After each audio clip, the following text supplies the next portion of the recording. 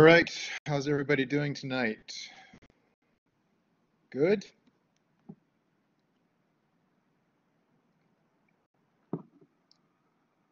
Big thumbs up. Good. awesome. Good to see you all out tonight. Uh, thank you for coming out.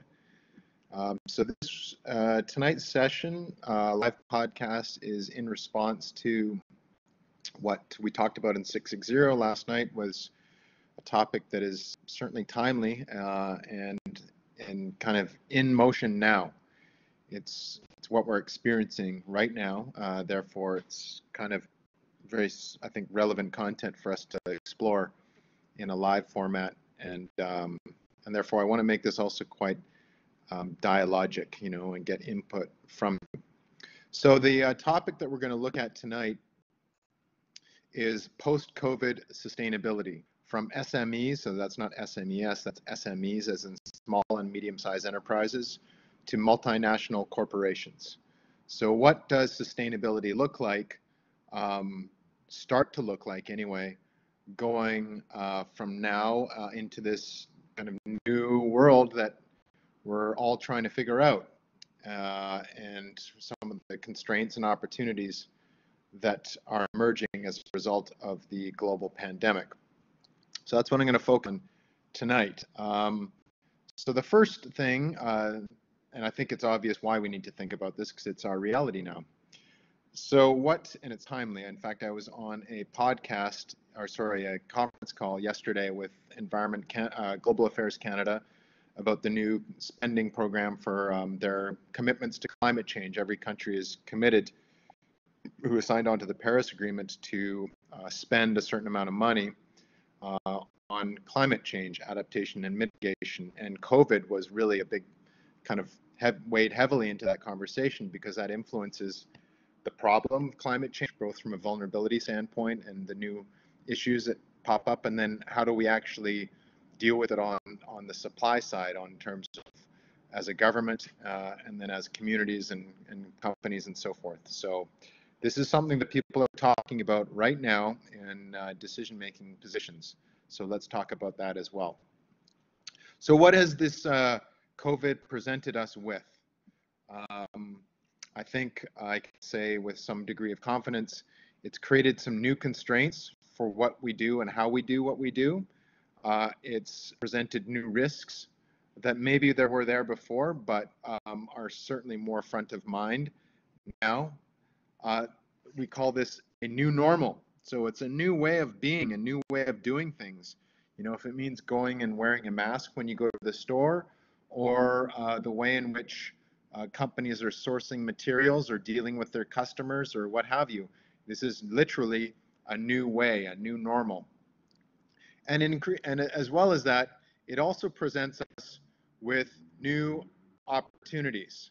So with the fact that there's new constraints, new risks, and a new normal, there are new uh, opportunities for doing differently and finding out ways to do things that match with um, the constraints of this new normal. So what else has it, have I missed anything? What else do you think it's kind of presented for us? Uh, it's exposed a lot of what's wrong with humanity. Uh, in what sense? Expand on that. Systemic racism, very interesting. Inequality, absolutely. What else? It's brought out the worst in some people with hoarding, sure. Long-term health care, excellent example. We care for our elderly. Is it sufficient? It's obviously not, right?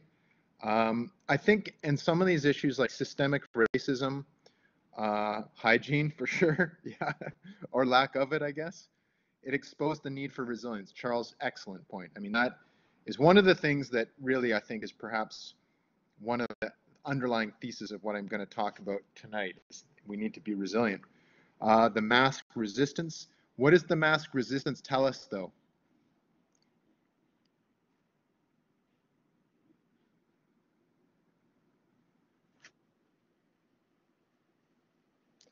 I think there's a few things about mask resistance. People who think they don't need to wear one because it infringes on their rights. For sure. So I think it tells us that we need to be aware of, um, you know, dramatically different outlooks that individuals may have, right? Because people have really profoundly different outlooks on the world. Um, then it's not uniform. So one person may think that their rights individually trump exactly trump the health and well-being of society. Uh, they're more important, whereas other people may think that you know, the health and well-being of the whole is more important than the rights of the individual. So it's, I'm not saying one is right or wrong. It's just, it is what it is. Um, so uh, just to address these other points, market reset, big time. That's one thing I'm going to talk about. Uh, the importance of education for sure. So being aware of this, like being aware of what are these risks and then communicating what those risks are. That's a big one. It's an important one right? And I think we haven't done a good job of this one uh, in terms of when I say we as governments. So I'll use the example of even in Canada, our own uh, federal health minister or um, whatever authority, uh, Dr. Tam. I really don't think it was a good look to be so flippant about the use of masks out of the gate and say, oh, well, it won't help you at all. And then, then we do this complete 180 degree turn on it. I mean, it's not a good look because how how are we supposed to believe? And I don't blame people for saying like, what you're saying this one thing and then you're saying other. And the reality is, we get more information. We we you know uh, we get a better understanding of the problems. So there's defense there. But I think the lesson to be learned there is be a bit humble. You know, be a bit un- understand the uncertainty in anything we propose uh, as a government or as when we're talking about this in terms of companies you know a bit of a bit of humility and a bit of understanding of the unknowns and the risks of of what we know and what we don't know i think is a, is a good way to go. Um, drastic measures can work to mitigate climate change. That's a good one right? Because we've seen drastic measures. I mean inadvertently we've seen um, greenhouse gas emissions go down hugely as a result of reduction in air travel. So those things work and they can work. Uh, also, the thought that they aren't concerned about getting it so they don't have to wear one, missing the societal benefits, sure. The importance of frontline jobs, interesting, okay. And therefore, the inequality of the pay scale, I think it brings out, and this is a big thing, uh, is it, it, really brings out to the forefront um, not only pay, uh, but the reliance that the, how much we rely on various different components of society. Uh, and then, you know, for those that are of um, a higher class, if you will, who are have more education and so forth, are able to be um, more immune to the virus because they can continue without having to be exposed. So I mean, it really brings out, like was addressed before, some of the uh, the inequalities that are are were there before. They were, it's not like they weren't there before, but we see it more clearly. Um, importance of nature for mental health. Good point. Linda's Linda's slam dunking. She's bringing out. Brought her A game tonight. Um, yes, nature for mental health. Getting out. If we're locked up all the time, it's we can see. And also, I think another part of that is the importance of work for mental health. The importance of purpose. So a lot of people that have been had to quarantine and maybe not be able to go to work um, and have, in some cases, lost their business, you know, because of the economic downturn. I mean, I know like there's people that have committed suicide in my network in Montreal because you know they were doing great, but then they're not doing so great. So mental health is a, is has really to the forefront. Some of the people who do not want to wear masks is political. Sure, they have a different political viewpoint. Uh, inequality in access to green spaces in cities more common in affluent communities. That's for sure. The ability to work may open global competition uh, for previously local jobs. That's an, that's one thing I'll address. How strong leadership makes a difference for a nation. Uh, Trump versus Trudeau, sure. Um, um, all scandals withstanding, I'll put a caveat there. Yes. In terms of the pandemic, absolutely. No question. Uh, yeah. Um, and compassion, right? What is the main differentiating factor? I mean, there's, if you look at it strategically, I mean, yes, there's some differences, but you know, a lot of similarities of what uh, what happened between the in American, the United, American Canada in terms of what was done, lockups, restrictions at the at the state level and provincial level and federal level and and um, federal level in in America as well. But I think one of the differences there, so I mean, yes, there were some differences in how things got executed, but like the the general approach to try and kind of curtail things was at least in the same general direction, somewhat. Um, but I think one big difference was how the pandemic was handled from a communication standpoint, right? It was taken very seriously from day one in Canada for the most part, uh, whereas and and compassionately, and and Justin is very good at that, compassionate communication, and it wasn't in the United States, right? And and that has a it's obviously a very important thing. People uh, want to see care, and this is another point I'm going to get to when I get into to things is caring and compassion for stakeholders is very, very important. Okay, so I mean, there's a lot of things that have come up here. So I'm just going to go through some of the key points that I think are important for us to take into consideration for this new normal and this new kind of way of going forward. And then I'll open it up for discussion and, uh, and we can go from there. Okay. So it's presented with a bunch of new constraints, new risks, a new normal, uh, potentially some new opportunities, um, some new problems, as we've seen here, that have that were there but maybe are more pronounced now, that we need to address going forward. So in the context of how SMEs or corporations operate, then I think there's kind of I've picked seven different kind of areas that that just popped to me as I started to really think about it today. So the number one thing popped out was the actual process of handling this pandemic. What is it that we tried to do right out of the gates with the pandemic as it started to really come on? What was, what was, what, and, and now as we are like probably going to be faced with the second wave, bend the curve, exactly, flatten the curve. So what does that mean? Yeah, social distancing, quarantining, that's all with the intent of bending the curve or flattening the curve. What is, why do we want to flatten the curve? Exactly. We didn't want to over, overwhelm our healthcare system. So what in essence is that then, like when we start to look at that process? From like a, if you want to look at it from a business standpoint. Risk management, yes, uh, and also demand management. What we are trying to understand is the dynamics of that situation, i.e. the spread, and impact of a virus and how, how we could handle it and then handle the demand. That was the big issue is, is yes, of course, you know, the impacts that can happen, but, but we can deal with this stuff, you know, like we, at least to some degree, um, but we can't if, if our systems aren't tuned to meet the demand that we're pressed. Unfortunately, we did a fairly good job in Canada with that, not so much in other parts of the world namely south of the border. So demand management is actually one of the lessons to be learned from this, flexible demand management. So flattening the curve is one of the major, major issues of handling and dealing with the pandemic. Um, and in order to do so, uh, we've realized that we need to influence social behavior in order to reduce the amount of people potentially coming into our healthcare system infected with COVID 19. So, this focus on decide demand side management actually has some pretty interesting and important implications for sustainability, right? When you think about it.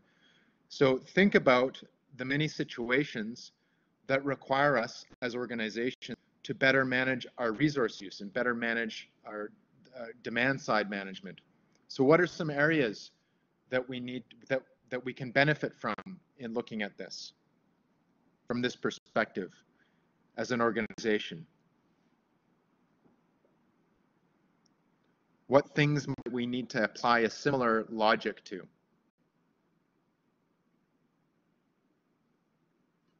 What do you think?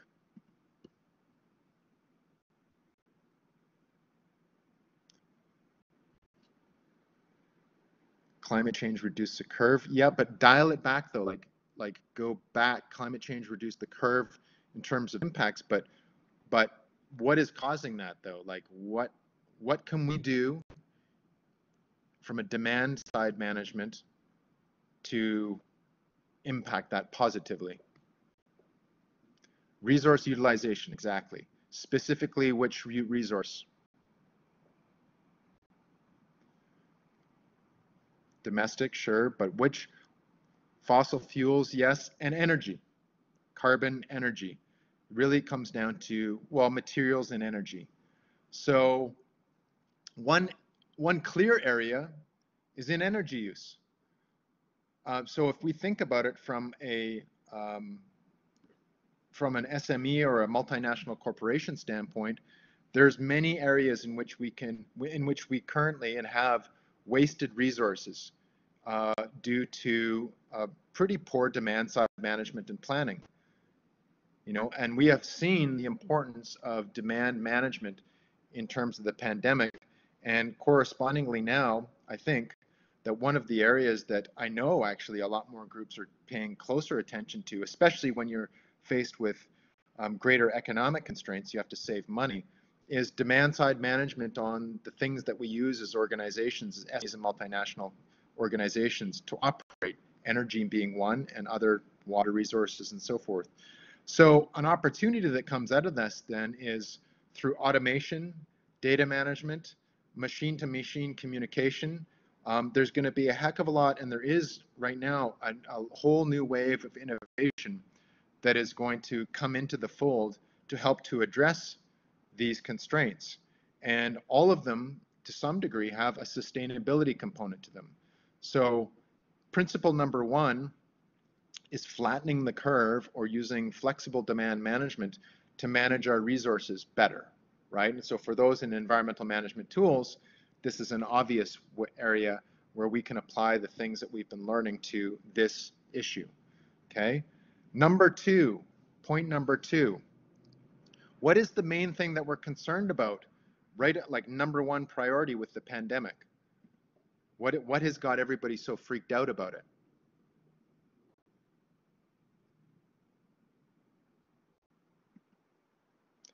Yes, no vaccine, but um, mortality rates, exactly. It's the health impact. Number one, it's the fact that people are dying from getting this, right? So human health is um, is, is front and center on this. So um, principle number two, or point number two, uh, grassroots human security. So if you really think about it, the amount of attention that we have shifted now globally towards individual and collective human security in response to the pandemic is,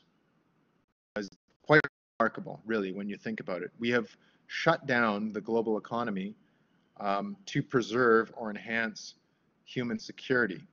That's really what we've done. So if there's one core, one thing that a pandemic threatens more than anything else, first and foremost, it's human security. This is the core threat. It's the impact on our health, so I think that we are going to see, or we will want to see, a much greater requirement for organizations, businesses as well, to address the safety and security of individuals and communities, right? So for instance, Uh, I mean, I went today, I went to the Apple store to get a new drive, and I'd been there yesterday. I mean, it is a different experience now, right? Many of you, I'm sure, have gone to the grocery store or whatever, and it's it's it's a new way of dealing with things, right? You is not the same. Normally, when you go to an Apple store a weekend or something like that, uh, it's you know you just walk in there and there's people all over the place touching everything and you know getting help with stuff and and then you get you know you finally get someone and you get your job job done. It's not it's not even close to that now. Apple stores particularly. In fact, that's the greatest example of how there's been such a change. I had to make an appointment uh, a week in advance to to get what I needed to get. So um, even going to just a common store now to get whatever requires new protocols uh, and requires that they pay attention to previously unstable threats, right? In this case, um, it's a virus. Did we ever think about a virus when we went to an Apple store or any grocery store a year ago? Not really. I mean, maybe some people who are kind of more germophobic would think about that stuff, but collectively, not really. So now this presents a whole new raft of constraints for any SME, uh, any multinational corporation who is dealing with people, either as customers or, um, or employees or anybody. So perhaps these unseeable uh, threats um, could also translate into these unseeable impacts on the environment. I think it's actually plausible to think that this kind of reset we're going through will hopefully cause us to think a little more about what are these other impacts that are out there that we may not see that uh, could present themselves. So uh, for those in, in 322, the social imperative of sustainable development, the social component of it, requires us to pay attention to social capital. You can't just think about society and sustainability from a purely environmental standpoint. I think we, we understand that.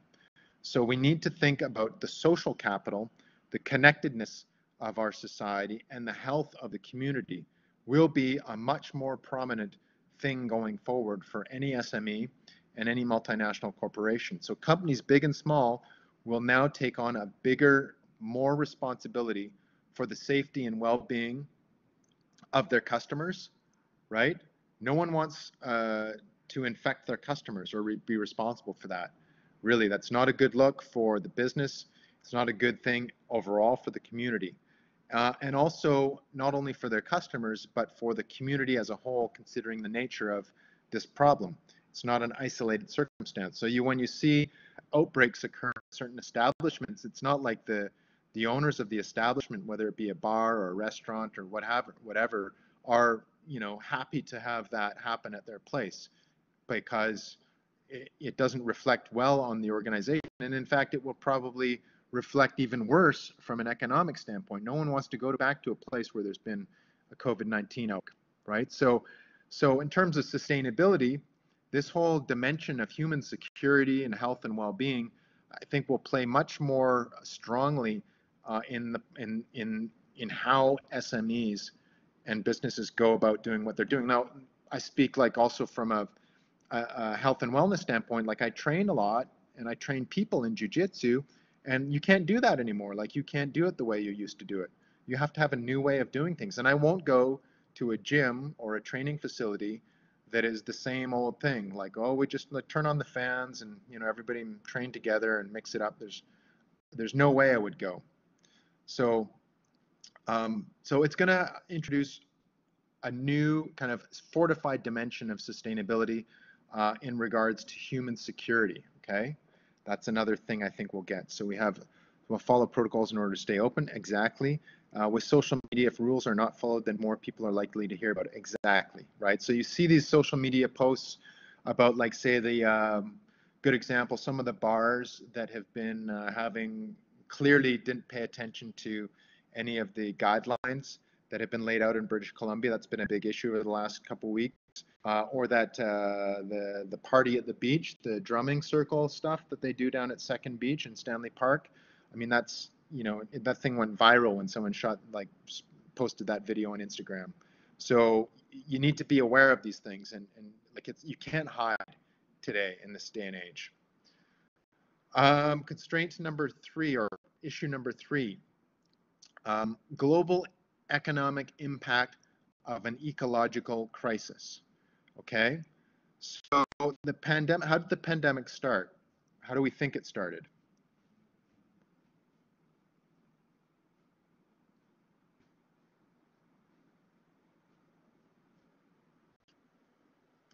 animal transition, transmission, mix of species in Chinese wet market. That's the running theory, right? Um, which is a viable one.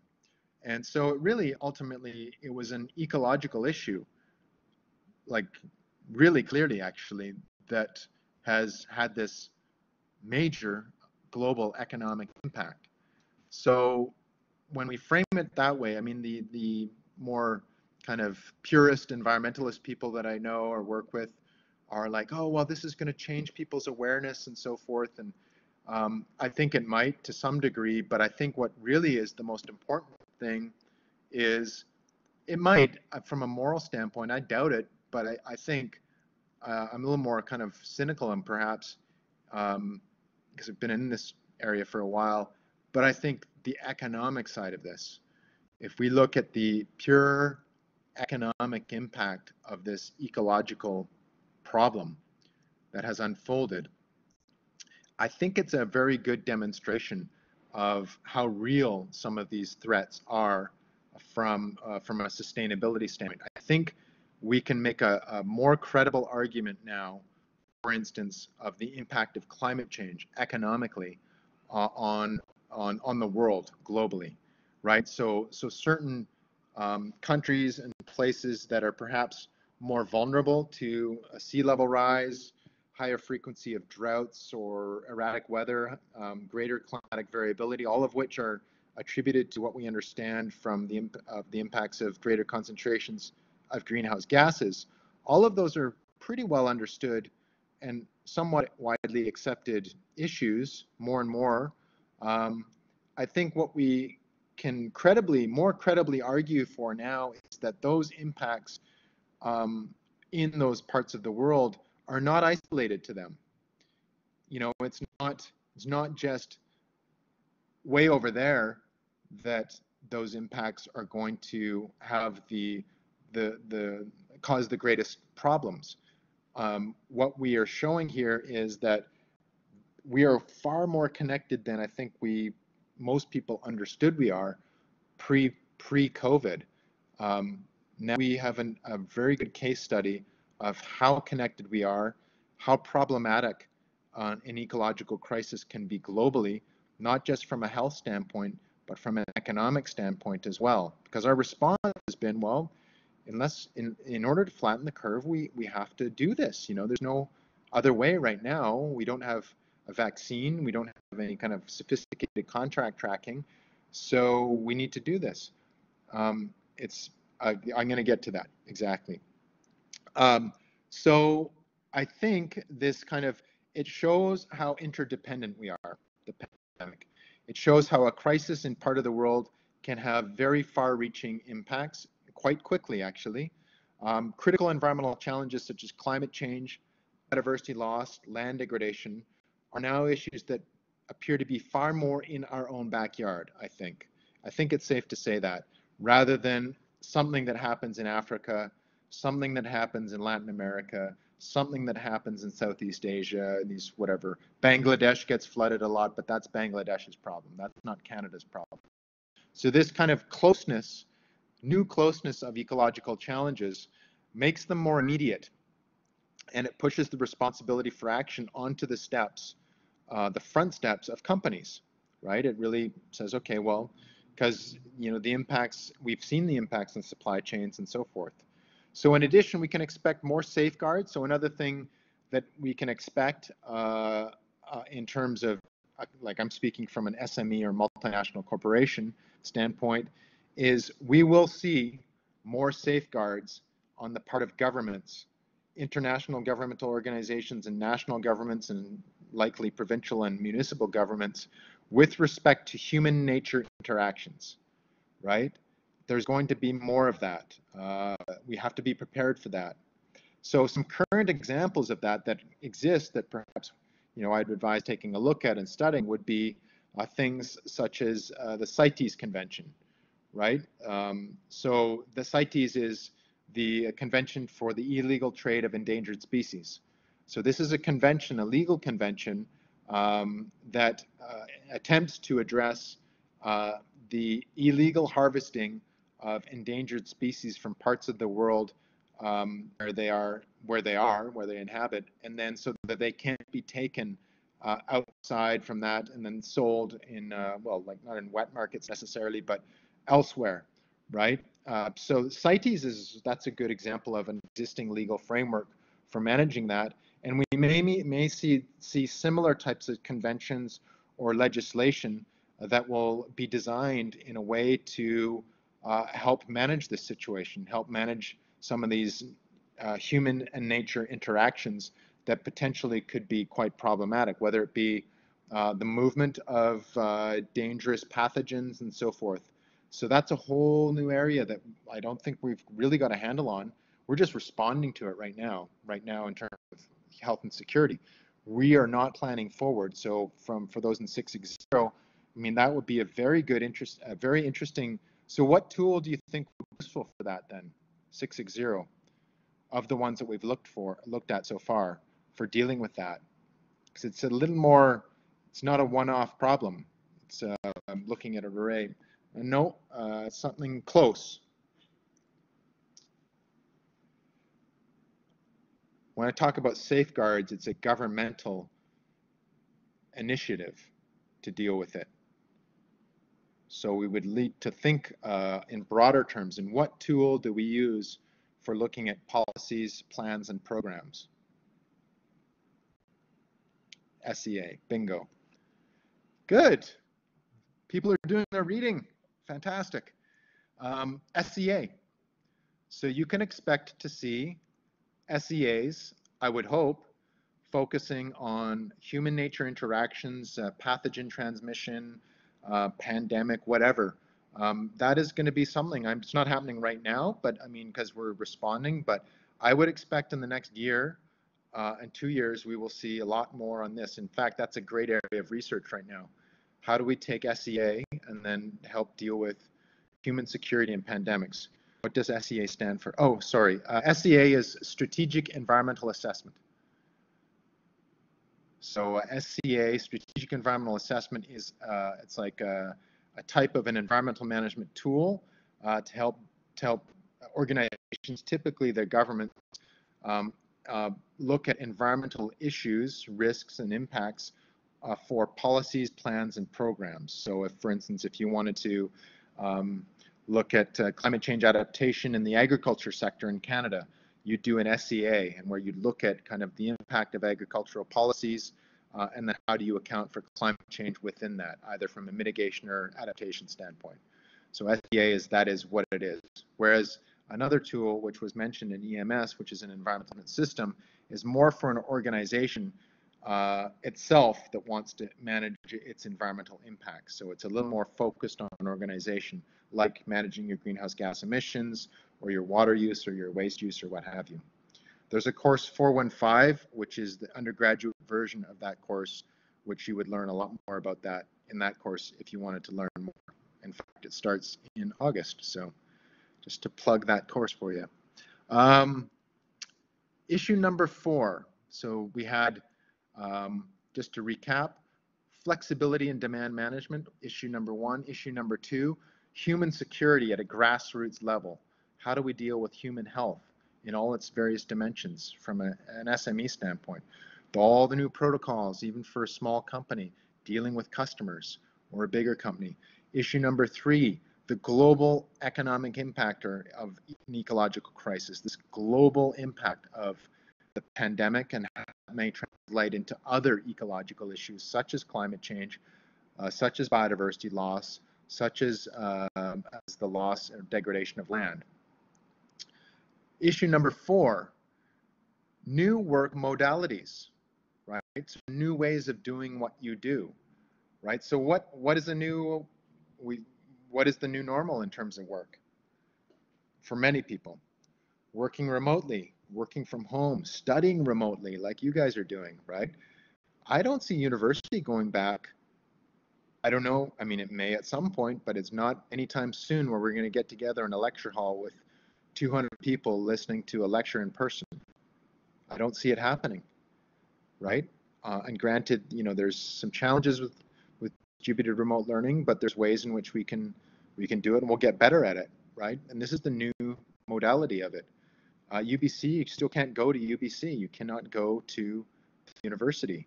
So, I mean, obviously, it changes the way things work. So, but previous to this, like pre-COVID, uh, what did people think when you had your boss and said, "Look, can I work from home today?" What would what would your boss? Think?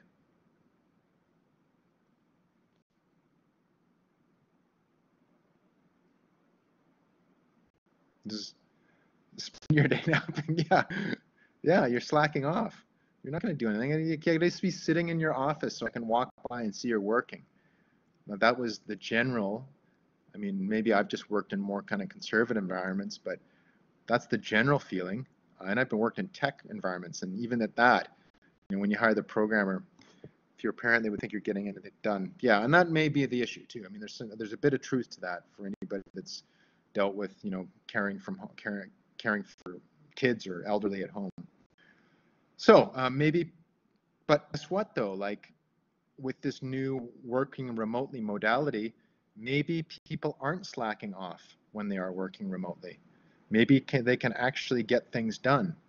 So I had a conversation today with a colleague of mine, a very client slash colleague, who I've been working with for you know 14 years. Really, we go way back.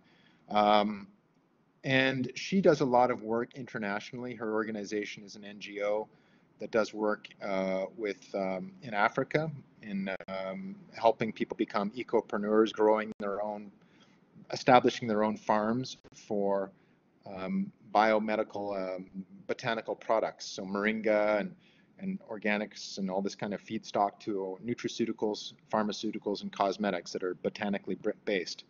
Really great organization. Um, they're doing awesome stuff in the DRC and across Africa now.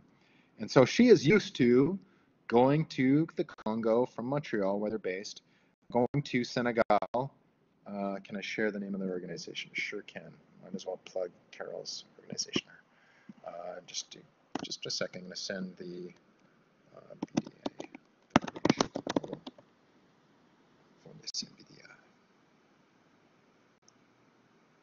Here.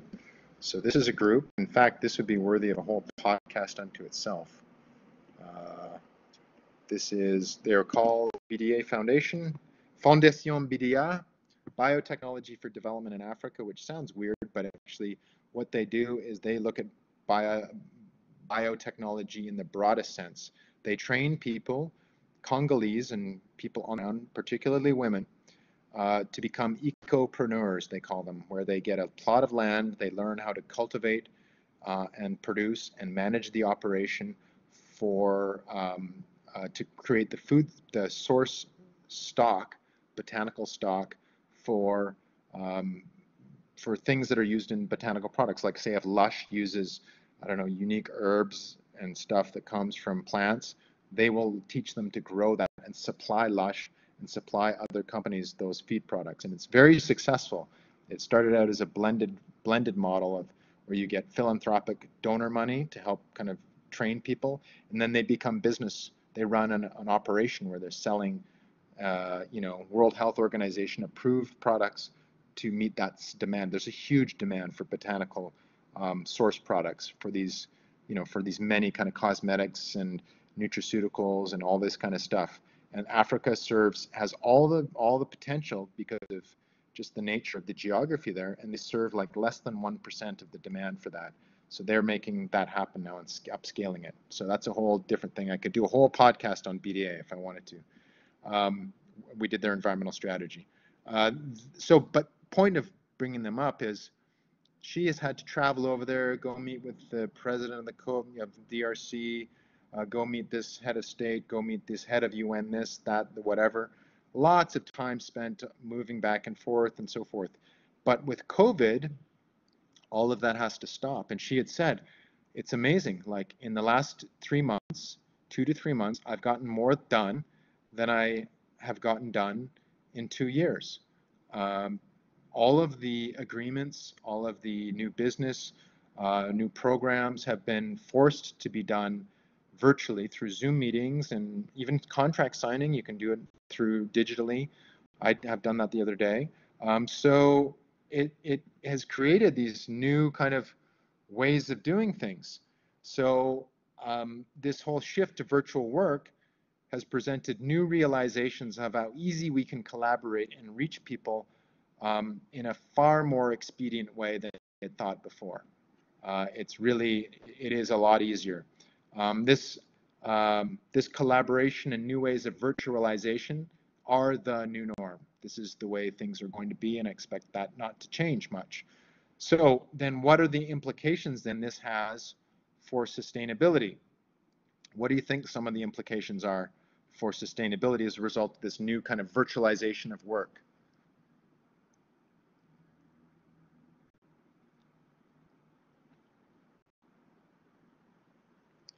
What's one obvious one?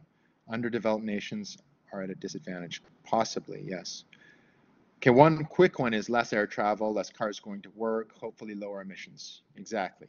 So you could look at your organization, whether it's an SME or a multinational corporation, uh, and and see. And I, I, mean, that was one of my points. Is you can quantify less time, well, less traveling, less loss of time. You can quantify these savings in terms of greenhouse gas emissions reductions, um, um, more time with family. So you know, or a higher quality of life. I mean, this point that Linda brings up, uh, underdeveloped nations are at a disadvantage. That is true. Um, not always the case. I mean, you'd be surprised at some uh, the the capability of.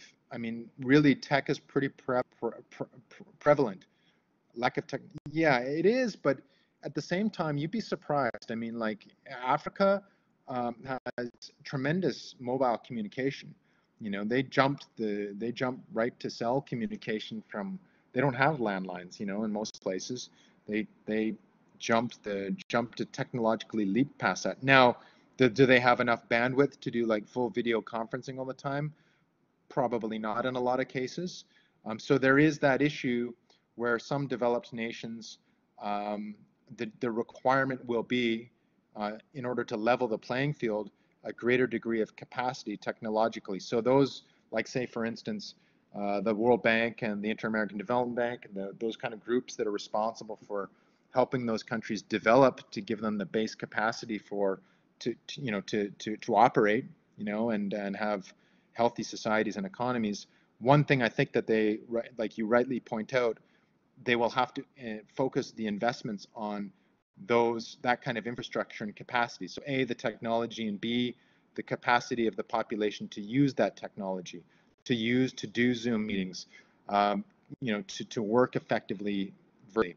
Um, and I think, you know, you'll see more of that. But I mean, again, like, you know, when I've been working with in Trinidad and places like this, I mean, all of their communication was done through WhatsApp you know, uh, for disaster response, we we planned all our disaster communication for for WhatsApp. Uh, if anything happened, it wasn't through through landlines or anything like that. So there's uh, uh, there's that, right? So another thing that I think is quite interesting though with this virtualization of work uh, is the um, uh, is a shift in power. Okay. Um, so um, think about this a bit. Uh, often uh, it's geography, uh, it's physicality uh, that builds separation. You know what I mean? Like it's these are the things. Like here's the big company, and all our team dev teams here, and da da da da. And this is kind of they have the tools, and and and that kind of separation uh, is can be can can be used in a power context right? Um, but that becomes less of an issue now, right? Uh, if you think about it, because we've eliminated some of those barriers.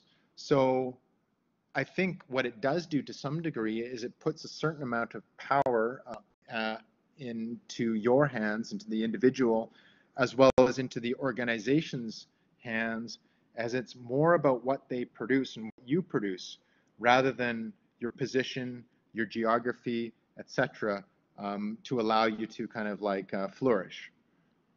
Right? In the past, it was all about, you know, um, uh, the urbanization and then the concentration of, uh, of capital and capacity that would then promote some of these inequalities. Whereas there is some degree of democratization or spreading out of that capacity if we accept that we can virtualize a lot of this stuff, right? And we do it effectively. I don't say it's going to, there's a lot of different dimensions to that, but it is something that I think about, you know, especially as an entrepreneur, like you go ahead, you're going head to head against companies like IBM and so forth. Whereas if you're agile and you're capable to collaborate with a, uh, and work effectively with teams across the world seamlessly, and it's more kind of accepted now, then your capability has grown like tenfold, or if not more, as a result of that very kind of small change in people's perceptions. Okay, so this new area of work modalities, uh, there will be more competition among similar business, which will enhance innovation. Exactly. Like you know it's they're going to get hungrier for for um, for this. I mean you get uh, you spread out the capacity so you need to compete more. Um, issue number five um, with virtual content as king being concise and to the point is key to engagement. Right from a communication standpoint. Um, collaboration point number five so we say this a lot but it's always about collaboration, right? Collaborate, collaborate. I go to these conferences and I hear this. We got to collaborate more, right? Uh, and I agree with it. Um, but often it's like, well, I get people say, let's collaborate. And so, well, why? Like, and how? Um, however, what the pandemic has very clearly shown us is that there are many problems out there that are that are just way too big for one organization to solve. Like you, you don't have all of the skills, knowledge, and capability in one organization to deal with something or one country to deal with a global pandemic. And um, it clearly shows that collaboration amongst countries, uh, amongst com companies, uh, within civil society, uh, organizations, and individuals is a must. Like we need to collaborate. It's not like it's good to do. We need to do it, or we can't solve some of these problems. So I think one of the key takeaways from that is that learning to collaborate is going to be critical for SMEs and multinational companies going forward. And some companies are much better at it than other companies. Uh, some of the bigger corporations that I have dealt with personally that I know of are not very good at collaboration. Uh, many of them have grown up in the era of kind of verti vertical integration, um, kind of they they do everything type of thing. Whereas I think um, a lot of these points and problems that we face with now don't really mesh with that approach. You need to be a little more open. So communication is really important to that. You need to be um, open to communicating with other organizations. It's pretty intrinsic to collaboration. Um, and you also need to have an open strategy is one way that we can describe this is being a little more open. Like you cannot just assume that you're going to own like i don't know all the intellectual property or all the business or take it all on yourself. You have to be a little more open and collaborative. I mean i use this in the in the approach to teaching. Like i you know especially when the when the when the pandemic started to hit in march i mean the the I, it was very important to make sure everybody was as felt connected uh, to the courses and to one another. Therefore, you know the you know the additional effort in doing these kind of podcasts as well as tutorials and so forth, I think is important. And, and the response that I've gotten is that it, it's more helpful. And similarly, if you look at it from a if from an SME standpoint, small and medium-sized enterprise or corporation, uh, being a little more communicative with other uh, collaborators and then open to collaboration, I think is going to be um, much more important and learning how to do that and also being inclusive so that goes a lot to, to uh, along with the previous point about uh, engaging with your community and community well-being is including the community more because their safety and your safety um, are, are connected closely.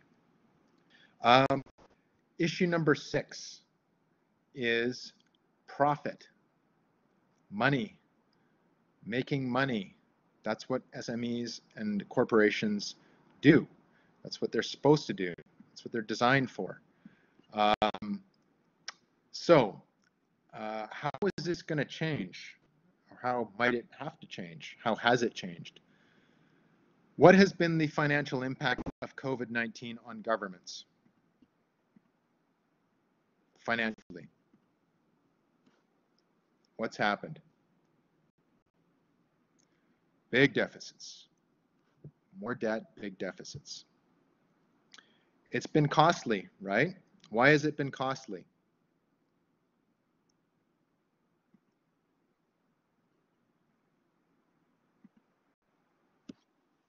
Why? Lost income for sure. What else?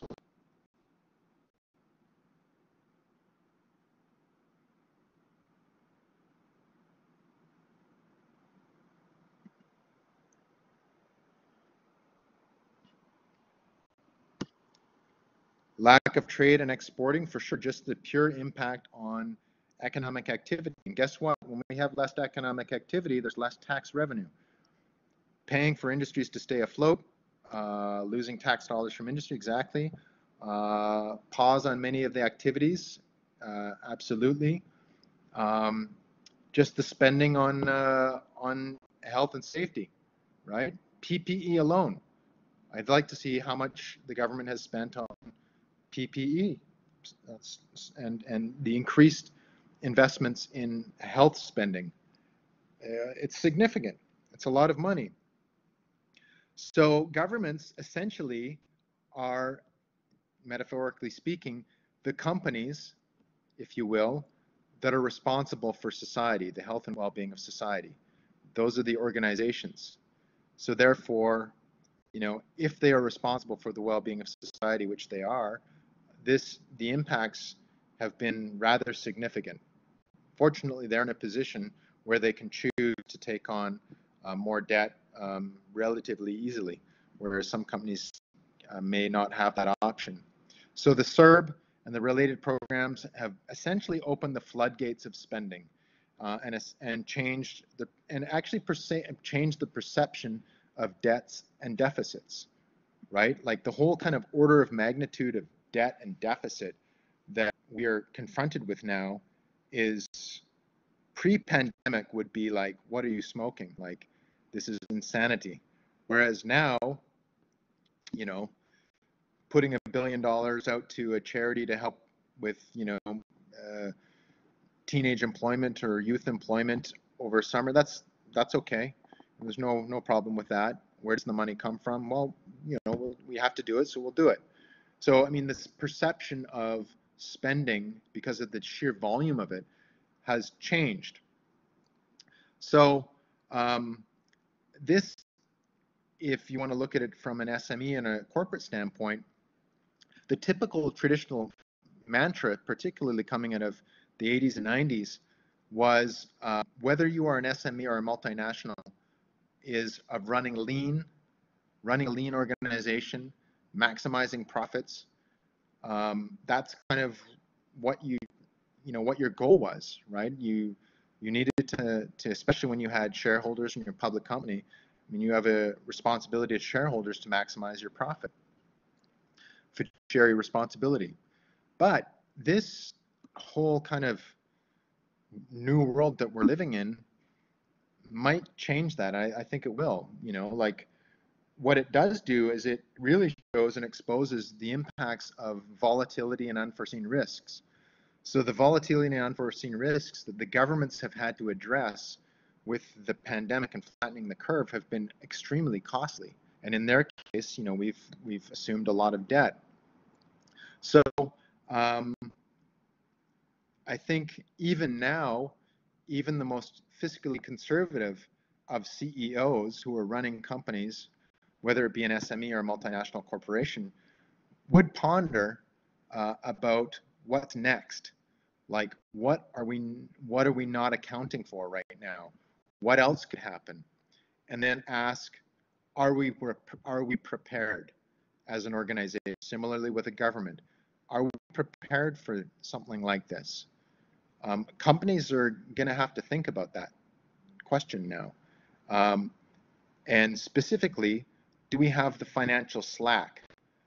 So as you have seen, I'm sure many of you know small companies, restaurants and so forth, that were probably operating on a, you know, on a month-to-month basis with respect to how much cash on hand they had uh, to continue to be profitable. Whereas, you know, now we realize that maybe we have to be uh, take a different approach and have a little more financial slack in place. So this whole idea of just profit above everything um, might change significantly. So new modalities and priorities for financial management will probably have to be the norm going forward, just purely from a risk standpoint.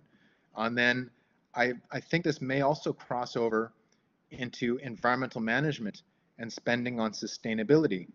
Uh, why? Um, you know, the natural link to make is are we immune to any other kind of environmental shocks that might be out there or social shocks, right? Like people, you know, re recoiling against our organization and canceling us, like the cancel culture thing. So this idea of just how we operate a company might have to change from a risk standpoint, but then also just from a purely cash management standpoint. And then the last point that I have, point seven, is about a new green economy. So uh, our economy essentially uh, is based on fundamental structures, uh, foundations that are that are capped in nature, based on allocation and acquisition of capital. Um, but I, I, think it's safe to say that uh, even the question of looking at capital in a more broad way is probably something that we might want to think about. Like, what is capital, for instance? Uh, will natural capital take a more prominent role in the way we run things? Uh, will valuation of ecosystem services play into uh, play into planning some more? Um, and as a start, uh, an immediate start, I think that the whole idea of thinking about ecosystem services might not be as foreign an idea as it has been up until now, right? For the simple fact that um, it's an ecosystem service or linkage to an ecosystem that is the source of the pandemic, right? Um, it's an ecological phenomenon. So this whole kind of, like I said, this nature-humanity interface, um, I think is becoming a little more familiar even for fiscally conservative CEOs uh, therefore uh, perhaps might be become more uh, more common in the vernacular of business. It has been by more progressive types, as some of you have seen in some of the courses that we worked on. Um, but I think we can expect more of that going forward. And I'm speaking very, very like candidly about that, not as an idealist, but as a pragmatist. So uh, if we're a company and we're going uh, going forward, these are some things that I think we're going to have to think about thinking about being more agile to these kind of changes that seem to just pop up out of nowhere. So agility and anti-fragility, I think, are two of these things. So being kind of resilient and being agile, which are related. Um, being aware of demand management and current dynamics, right? So having a better understanding of what's going on in the world, what's going on in supply chains, and how these kind of demands uh, will change how we deal with demand management ourselves, as well as how reliant we are on current dynamics. Um, I think we're going to have to think about more critically about human health, uh, our employees, our partners, our customers, and our community. And this is going to require planning, but communication as well, as demonstrated by going to the Apple store today or when you go to the grocery store tomorrow. Another principle is think globally, act locally, and think globally again this will become part of the analysis. So like really that switch between scales is, I think, is going to be something that everybody's going to have to think about in a more, a more serious way. Uh, companies of all sorts, SMEs and also multinationals, are going to be need to be aware of new policy and legislation. There was going to be new policy and new legislation related to human nature interactions as well as human security. We can, I can be 100% sure of that. Um, new work modalities and organizational structures are now the norm and the use of technology for working remotely, virtualization of work, um, you know, getting used to doing virtual meetings and contracts and all that kind of stuff and that it's not foreign. Um, collaborate and share and be inclusive and assess the impacts of this. So what are the environmental impacts of being more collaborative and sharing and um, and then redefine and strategize what our financial goals and priorities are. So what does it mean? What is are the priorities of organizations? What does capital mean to us? And are we are we prepared for some of these potential downturns or new opportunities? So looking at that from a, from a more risk management standpoint uh, was probably going to be uh, something we need to think about. And then this whole new era of a different form of capital, or at least a more broad definition of what capital is, is again something that I think we're going to see more discussion about and ultimately more kind of operation operationalization. So the CPA would be a good example of seeing what they do on this. The Canadian uh, Chartered Professional Accountants Association in Canada uh, would would actually be a group that i am going to reach out to see what they're thinking. All right, so there we go. That's uh, the blueprint. I'm going to post these notes to uh, to for download uh, from the video. Um, so you have that, those issues. Any other, any questions? What do you think?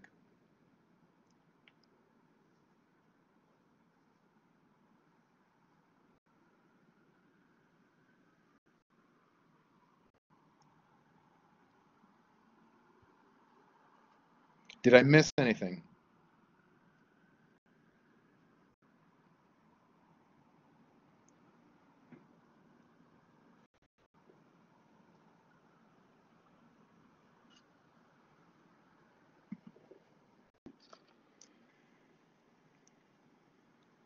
Yes, there's a lot of different areas that will change. Kind of hard to treat track of. We'll have to take it step by step, I think.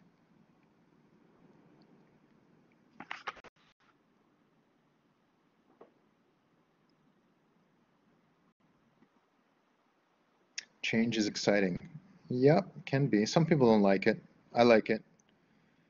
A lot of people don't, but gotta go with it. Is the egg already cooked? Yes, 100%.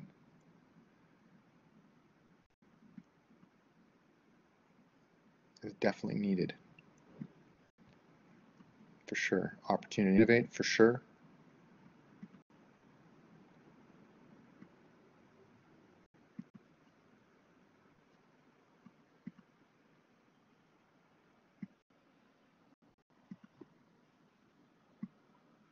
There's going to be a lot of innovation associated with this in all respects. New policy, new legislation, not one area alone. I mean, I can't even think about it. The, the thing, what's going on at the UN right now to deal with this is quite remarkable. Like, uh, think about, you know, how do you, how do you make sure countries can survive through this? You know, it's like a major pivot. So it's been a complete everything went off of like climate and all that kind of stuff. Like, okay, COVID. What do we do about COVID? Complete focus on it.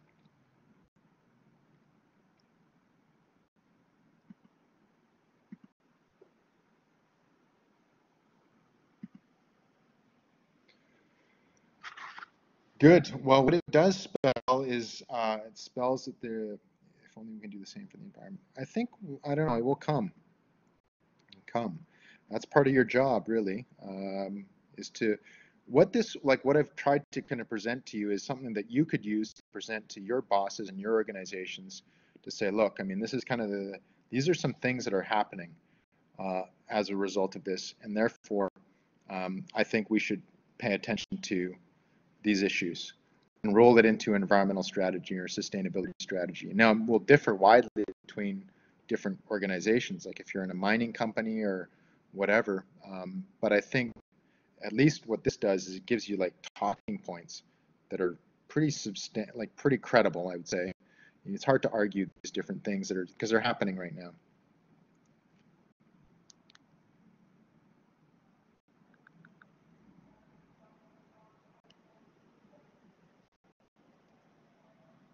But if you position it in terms of like the business case, then you will get airtime from the CEO. Both the potential for profit, like of viability of the SME or the multinational corporation, where's the opportunity and where's the downside risk? Where can we lose and where can we win? And what is our obligation? That's the language. That is the language of CEOs.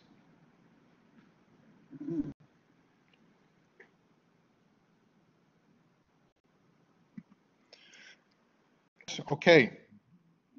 Thank you very much for coming out. Again, this has been recorded. I'll download it and I will post it to YouTube and let you know when it's up for anybody else that couldn't make it, as well as the notes. Uh, last week was a little uh, difficult, so I got a bit behind on posting the podcast, so both will go up uh, tomorrow. Um, but that's life. Sometimes you need to shift your priorities. All right. So for those in 660, tomorrow, 6 p.m. tutorial. Uh, for those in other whatevers courses, we don't have that. you're, you're not invited. Uh, but hopefully you can come out next week and I will be promoting these a little more widely.